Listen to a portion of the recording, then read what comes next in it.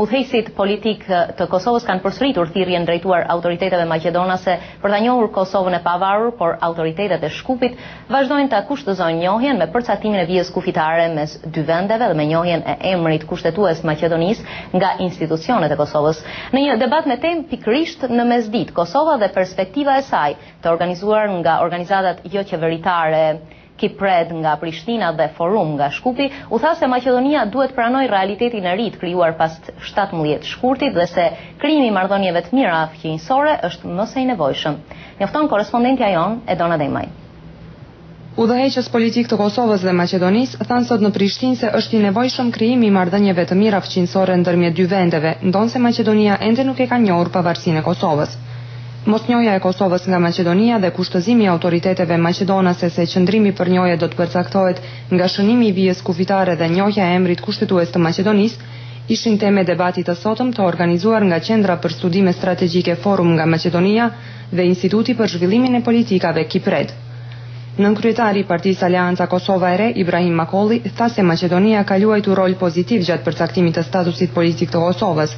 Mirëpo ai u bëri thirrje autoriteteve maqedonase që të mos vejnë kushtëzime për njohjen e pavarësisë. Sipas tij, njohja duhet të vijë si rezultat i nevojës së bashkëpunimit ndërmjet dy vendeve e jo me kushtëzime. Kujtoj që këto tri elemente bazë do të jenë përcaktues në një masë dhe sa i përket të ardhmes së marrëdhënieve në mes dy vendeve tona.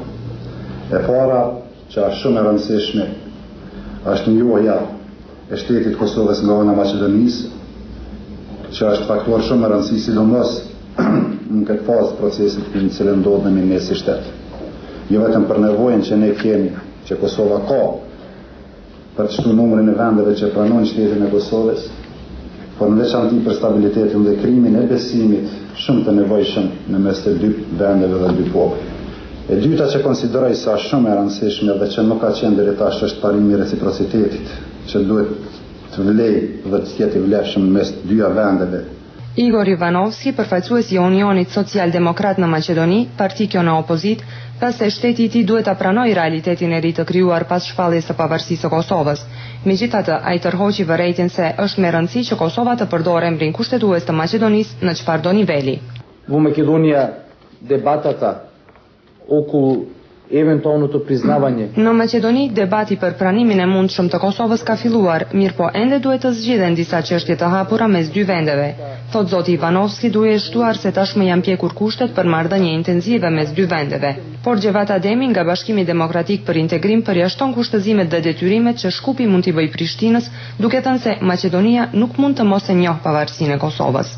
Dhe pse sot Unë nuk jam këtu t'ju them se Shkupi do e njeh Prishtinën sot apo këtë datë. Jo. Jo për faktin se koha e politikës së spektakleve dhe efekteve speciale ka kaluar, po për fakt të realitetit. Maqedonia ballafaqohet me probleme të mëdha të brendshme. Maqedonia dita ditës e humb shansin historik që këtë vit të merr ftesën për anëtarësim në NATO. Fatkeqësisht, ne, shkaku i problemeve reale, jemi gjithnjë më larg marrjes së datës për fillimin e bisedimeve për anëtarësim të plotë në Bashkimin Evropian. Dhe ky është realiteti i